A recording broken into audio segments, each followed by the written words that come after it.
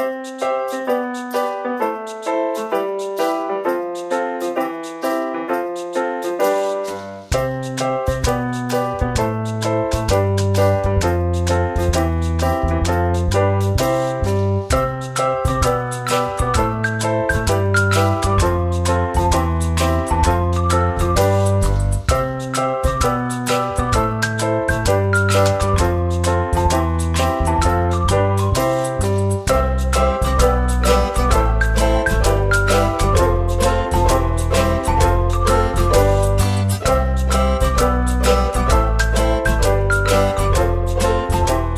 ในเรื่องของการทำ CSR ของกอพนะครับในในปัจจุบันเนี่ยโดยเฉพาะที่โครงการพัฒนาโรงไฟฟ้าเทพาเนี่ยเราจะยึดความต้องการของชุมชนเป็นที่ตั้งนะครับในส่วนที่ความต้องการของชุมชนเนี่ยเราจะมาดูว่าอันไหนที่มีความจำเป็นเร่งด่วนนะครับ อันไหนไม่จำเป็นเร่งด่วนนี่เราก็จะมาเรียงกัน แล้วเราก็จะพูดคุยกับชุมชน นะครับว่าเราจะต้องดำเนินการมีขั้นตอนอย่างไรนะครับ หลังจากนั้นแล้วเนี่ยสิ่งที่เราดำเนินโครงการเนี่ยเราจะเน้นในเรื่องของชุมชนได้ประโยชน์นะครับอออย่างยกตัวอย่างเช่น วันนี้ที่เราทำโครงการปากการังเทียมนะครับ ปกติถ้าเราทำปากการังเทียมใช้จากลูกถ้วยไฟฟ้าแรงสูงที่หมดอายุการใช้งานแล้วเนี่ย เราจะต้องไปจ้างบริษัทหรือโรงงานประกอบ วันนี้เราเปลี่ยนวิธีการใหม่นะครับ เราให้ชุมชนเนี่ยเข้ามาดำเนินการนะครับ เสร็จแล้วเราก็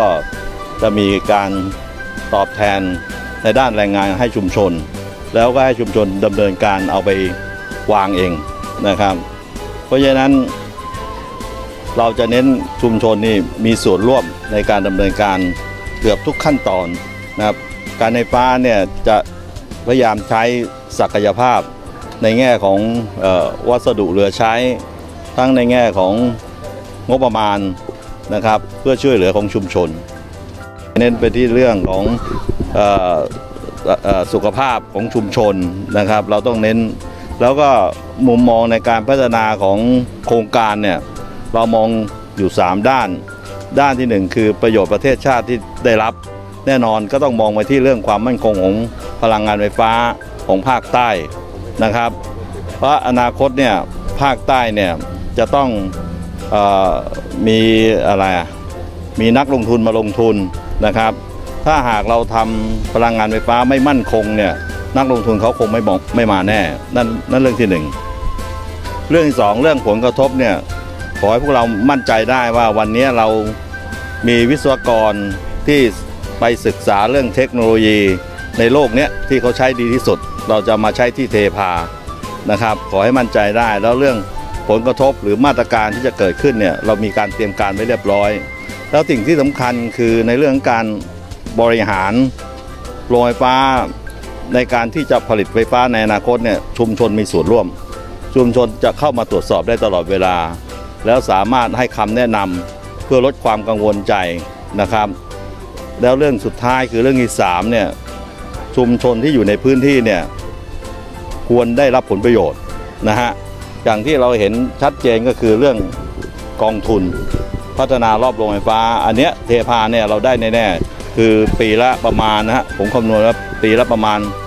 350 52 ล้านบาท แต่ในขณะที่เรายังผลิตไฟไม่ได้เนี่ยมันช่วงก่อสร้างเนี่ยก็จะได้รับประมาณ ปีละ 50 ล้านบาท ไอ้เงินก้อนเนี้ยที่เข้ามาเนี่ยชุมชนสามารถตั้งคณะกรรมการตามกฎหมายเนี่ยมาบริหารเงินเหล่านี้เพื่อตอบสนองความต้องการของชุมชนนะครับ แล้วก็สิ่งเหล่านี้ชุมชนต้องมาช่วยกันคิดนะว่าโครงการที่จะเกิดขึ้น เพื่อการเจริญเติบโตของชุมชนเองเนี่ยต้องได้ประโยชน์โดยรวมให้มากที่สุดนะครับ อันนี้ก็อยากจะฝากไปถึงชุมชนด้วยนะครับ